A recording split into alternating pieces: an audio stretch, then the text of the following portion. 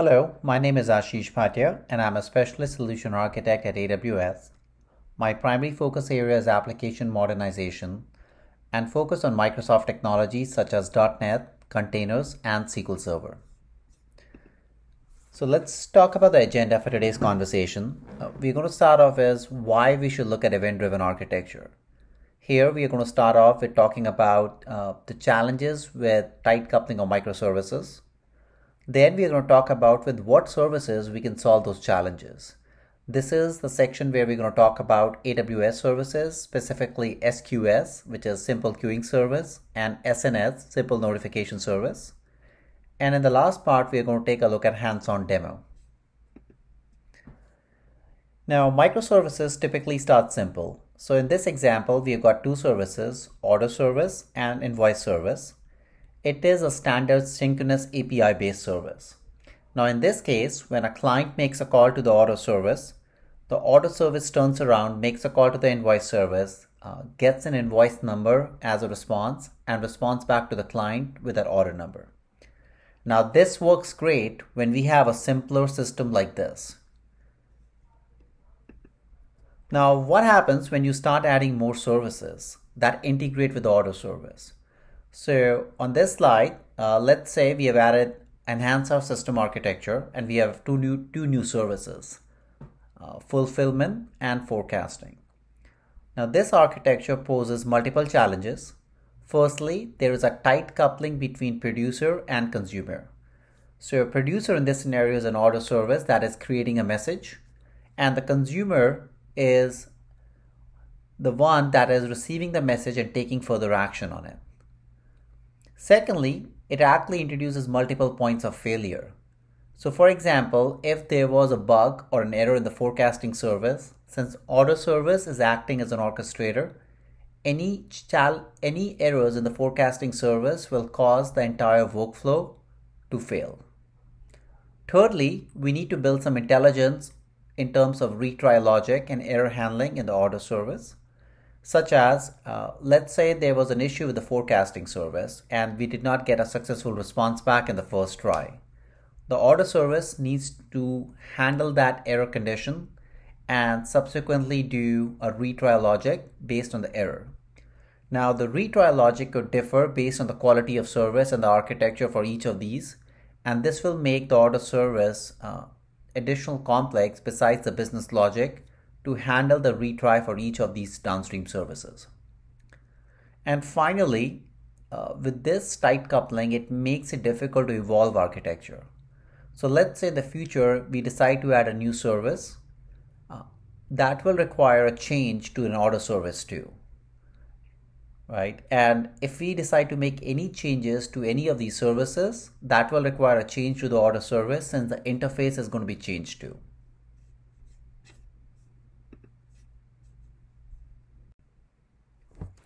So how do we solve the challenges that were outlined in the previous slide? One of the options is through PubSub or Event Router. Publisher subscriber pattern is a pattern in the software architecture where a publisher creates a message, sends it to a predetermined location, and the consumers can subscribe to the topics of interest and consume those messages. As you can see, this architecture breaks down the tight coupling between the order service and other services uh, in this scenario, the order services goes and publish an event when a new order is created. Any of the downstream services can subscribe to the topic and take subsequent action.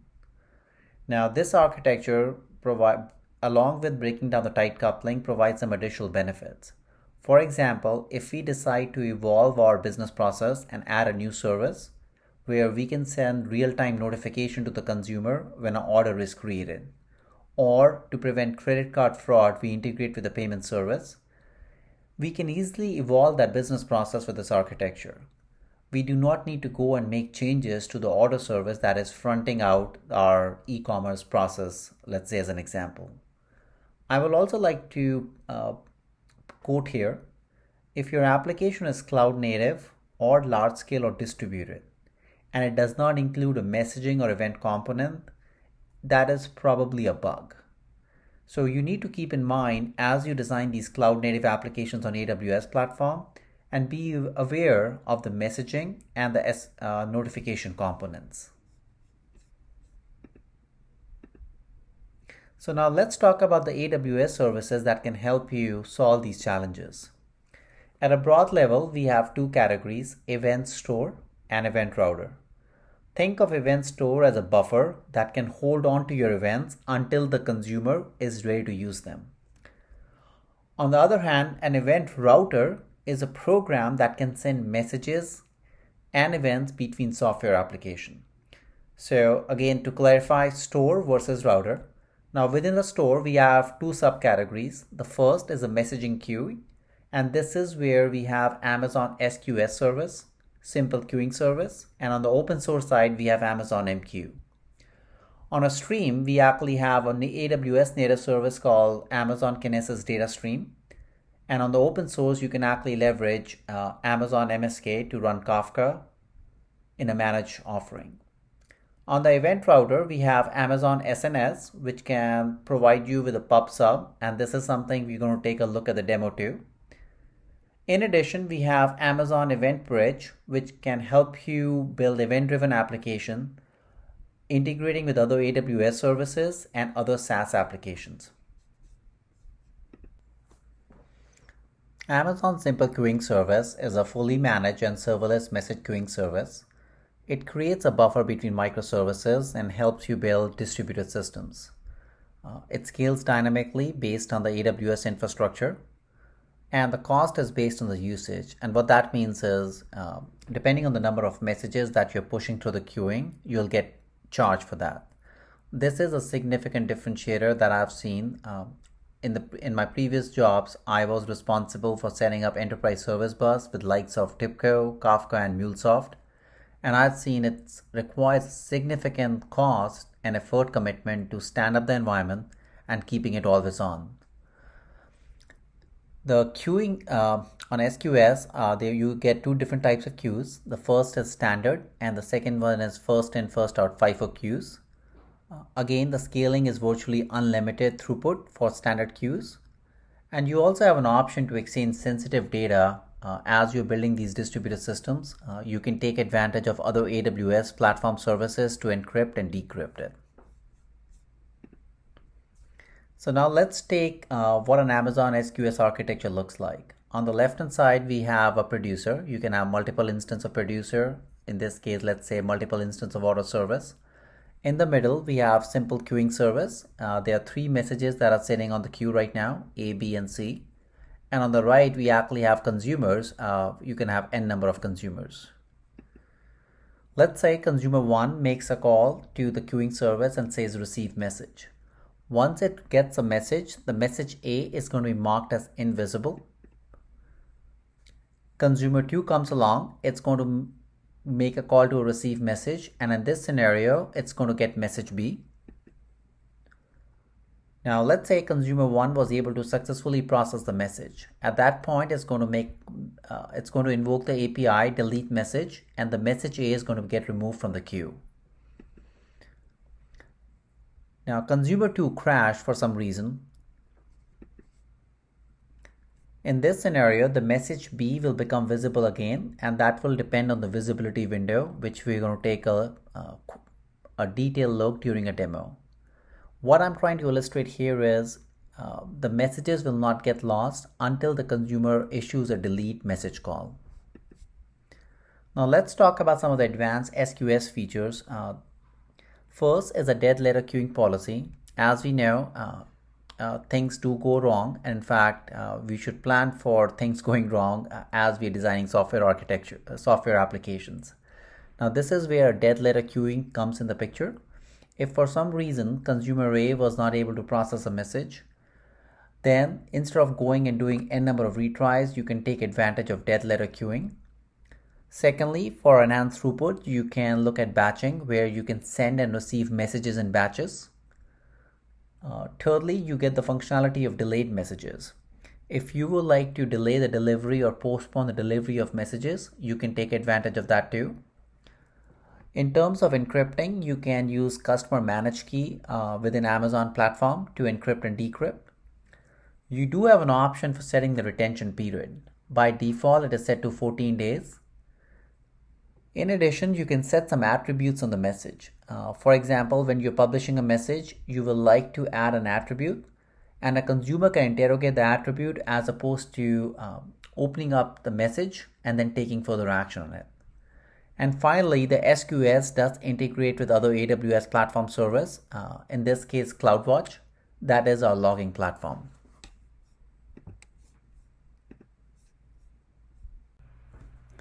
Amazon Simple Notification Service is a fully managed messaging service and provides functionality to implement PubSub, Publisher Subscriber Architecture. With this architecture, you can send a, send a single message to a large number of subscribers and the notifications are pushed to the subscriber. It does support both application to application and application to person. Some of the common uh, destination endpoints for application to application include uh, sending a message to SQS, uh, HTTP, or a Lambda function. For application to person, you can send that message via email, SMS, or mobile push. During the demo, we are going to take a look at how a single message getting published to SNS can be sent over to SQS, as well as uh, sending a triggering an email to a consumer's inbox. So now let's see this in action. On the left hand side, I actually have got one-to-many producer. In the middle, we have an SNS topic. And on the right hand side, we have consumers. Let's say a producer goes and publish a message to an SNS topic. Going back to our earlier use case or example of order service, let's say when an order is created, an order event is published to an Amazon SNS topic. On the right, you can think of consumers as different services that we discussed earlier. Uh, it can be inventory forecasting. Now, each of these consumers can subscribe to the same topic and get notified when an event gets published. Now, let's enhance the scenario. Let's say there is a service that is only interested in receiving orders that belong to a specific country. You can do that by using a message attribute where a consumer can go and filter and receive messages based on the matching, matching criteria of a message attribute. Uh, I have seen personally uh, some of the enter enterprise service bus that runs on premise that do not support this capability. And before that, we actually had to crack open the message, look inside the message, and then perform filtering, which is a very inefficient way of performing filtering while in this scenario, we do not have to open the message structure up. Now, there are numerous patterns that uh, demonstrate uh, the usage of both SQS and SNS. Uh, I would like to showcase two examples. On the left hand side, we actually have a client which can send a message to Amazon SQS. Again, for uh, sub robust error handling, we have dead letter queuing at the below. And we can actually have a Lambda function that is going and polling the SQS queue and writing those records to Dynamo database. Here, we actually have a publisher that is pushing a message to Amazon SNS. And as you can see, uh, with this service, you can have a fan out architecture. Here, we actually have a single message getting published to an SQS queue. Lambda is pulling the queue and writing to the database. It can also get published to SQS a second SQS queue where Lambda is polling the message and then writing to another SNS topic. And then in the last, we actually have a step function where SNS is sending a message to Lambda function directly. And from there, you can actually have a workflow that is taking further action based on the message uh, details. All right, so let's jump to the demo now. Now, before we start the demo, uh, we need to make ensure a prerequisite, and that is to set up an AWS credential on the machine. And these credentials are going to be used to go and talk to AWS services. Uh, on this machine, I've already configured that, but let me show you where the, those needs to be defined. If you go under your user, you will see a folder called .aws. You will see a credential file. And once you open the file, you will see that we can actually define an access key ID and a secret access key. These combination of these two entries are being leveraged by SDK or command line interface to go and talk to AWS API services. You can have a different combination of access key and secret access key grouped under a profile. Uh, right now, it's actually grouped as a default profile here in this example. And you can actually have another profile called Ashish profile. This gives you the flexibility to modify the profile or credentials based on a name. Once you have done that, let's go and define an SQS queue in the Amazon console. Now for this demo, I already have a queue defined. It is a standard queue. This is where you see a type of standard. And the name of the queue is called .NET hyphen Austin SQS queue. As you can see here, the number of messages available and in flight are zero. So there's nothing in the queue at this point. Now for .NET application to go and talk to Amazon SQS, we need to import an SQS NuGet package. It is called AWS SDK.SQS. You can even go and check this package uh, from a NuGet packages library or server. And you can see this is the package that's been installed. Now for this demo, what we are going to show first is how easy it is to go and write a message. So this is the piece of code that's going to be executed that we're going to run to publish a message. As mentioned earlier, the first thing we need to do is to retrieve the AWS credentials. And this is how you can do it. There is a class uh, within Amazon runtime called AWS credentials.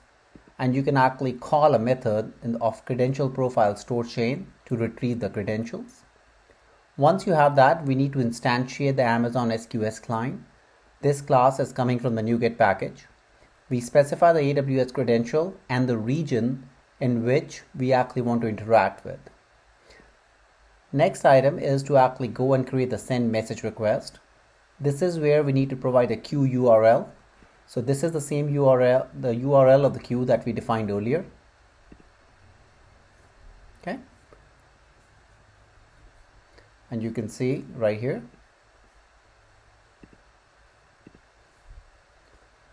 and then we need to provide a message body.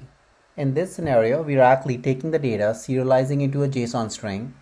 We're not adding any delay and we are going to go and publish a message to the queue. So let's run this and see this in action.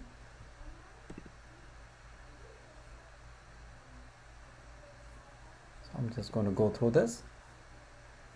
I already have Swagger configured, so it actually provides a nice interface for us to go and test this out. and here we are going to go and invoke this method. So let's change the summary to say .NET Austin demo. So we'll hit the breakpoint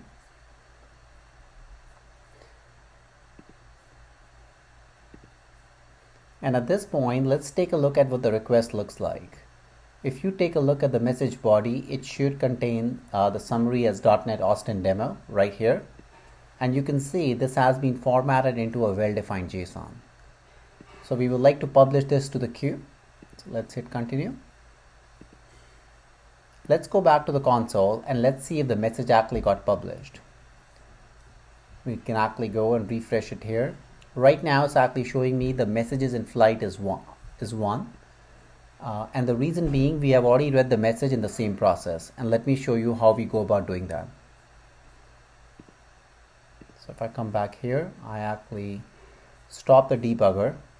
If we go back here, we expect the messages available to be one. Okay. So as you can see, there's no one, uh, no consumer has read this message and the message is stored on the queue itself. At this point, we would like to see if, what does it take to go and read that message. So here is an um, here is a weather forecast processor that is running as a background service. Again, we need to provide a set of AWS credential to go and talk to the API. We specify uh, a receive message request. We need to specify a queue URL. And earlier during the presentation, we talked about the visibility timeout. Right now, I actually have set the visibility timeout to be 20 seconds.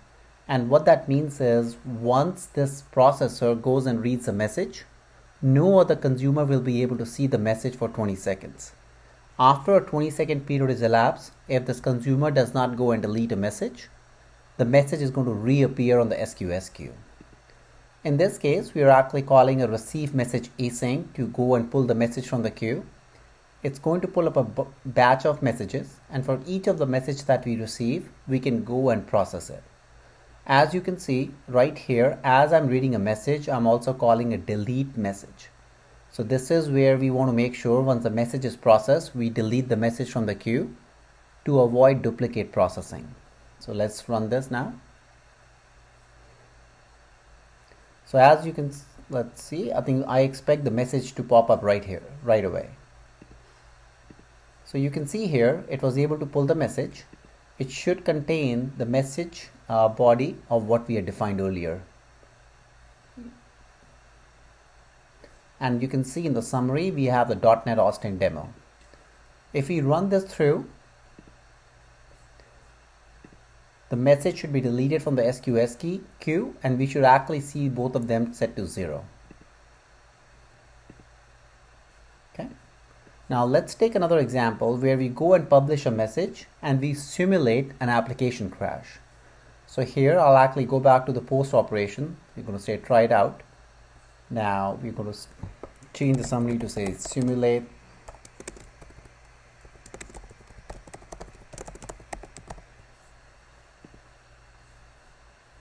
So the first thing that we need to do is to actually go and send the message out. This is going to publish a message and we expect the messages in flight to be set to 1. Okay. Now we come back here and instead of going and deleting the message, uh, even though we have read the message, we are going to simulate that we didn't, we couldn't do anything with it or the application crashed. At this point, I will expect the messages available to be going back to 1. Or since it's running as a background service, it reread the message.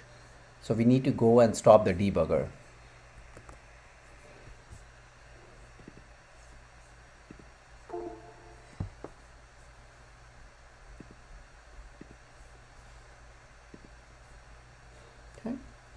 Now if I go back here, I expect the messages available to be set to 1.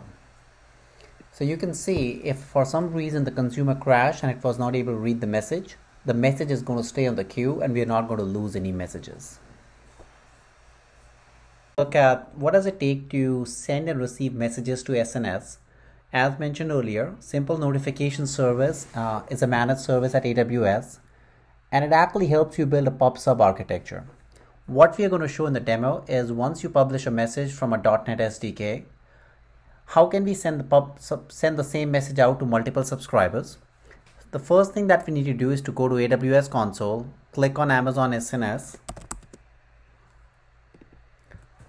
and we need to define and create a topic. Now for this demo, I already have a topic defined. The topic name is called .NET-Austin Day. So let's take a look at this. With it, once a message gets published to a topic, I've defined three different subscribers. Subscriber one is where I would like to send an email out. So earlier during the presentation, we talked about how we can enable application to consumer. Now this is an example on how we can send an email. The second is to trigger a Lambda function. So Lambda integration is kind of baked in with SNS. And thirdly, we can also integrate with SQS queue.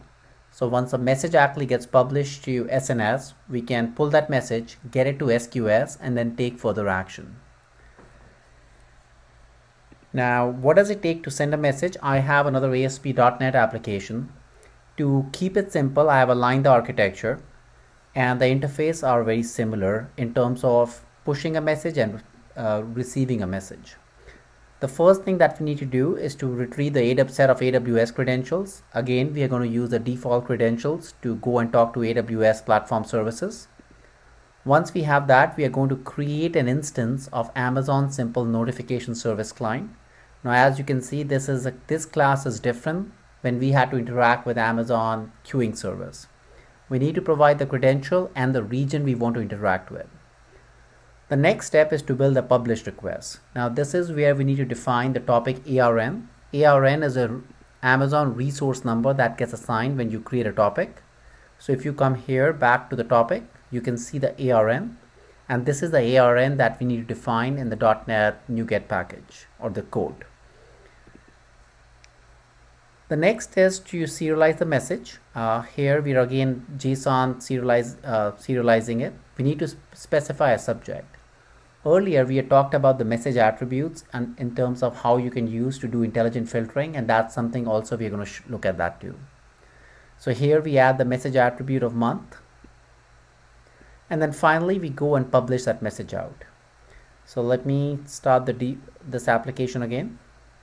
It's going to bring up a Swagger UI that we can use to test this application. You can click on try it out scroll down and let's change the summary to make it something unique that we can recognize. So we'll say .NET SNS demo and click on execute. Once it gets here, we're going to use a client to go and publish the message out. Now, one of the challenges that I've seen, how do you validate that the message actually made to the SNS topic? Obviously, we did not get any exception, but since our mess, um, some, one of the subscribers is Amazon SQS, so we can actually go back to the console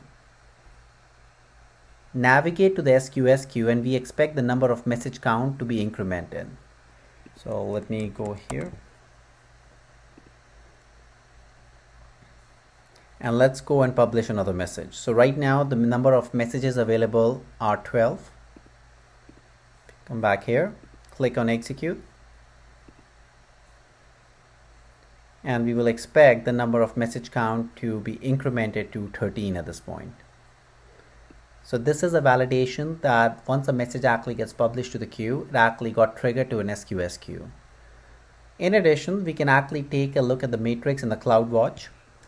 Uh, I had mentioned earlier that uh, SNS and SQS are both integrated with other AWS platform services. Uh, CloudWatch is a logging platform. There is a pre-canned dashboard that you can leverage, which can tell you the number of notifications delivered, the number of messages published to, and you have an option to go and refresh and you will see the rec the number of message count is going to be incremented here. Okay. now once a message is there what does it take to go and read a message? So since we are publishing a message to SQS queue if I go back and restart the application um, the one which actually goes and reads the message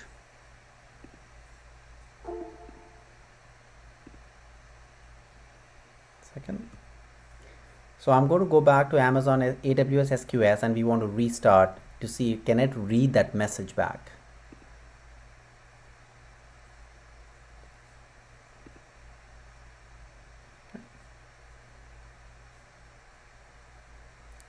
So as soon as the message service comes up, okay, and you can see it already actually read the message. And if we go and expand this, you can see the body actually has a topic ARN that actually tells us the message actually came from SNS and here is a subject line that we added.